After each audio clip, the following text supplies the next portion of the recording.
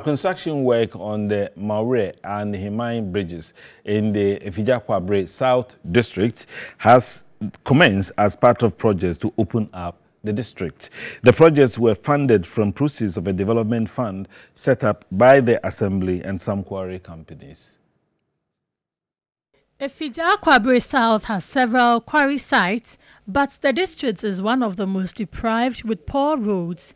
The Assembly collaborated with the quarry companies to set up a development fund with a view to give the district a facelift Chiefs in the area have also come in to support with 100,000 cedis cash.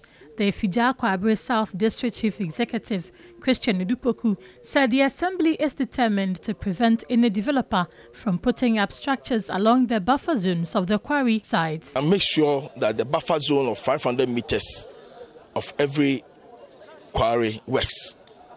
And they did so. They have issued instructions to all their subjects to stop encroaching into the buffer zones. And now it has also given the Assembly the power to prevent anybody that wants to develop along the buffer zones. They are also part of the custodians of the uh, the rocks, though the rocks belong to the state, but they also play a major role.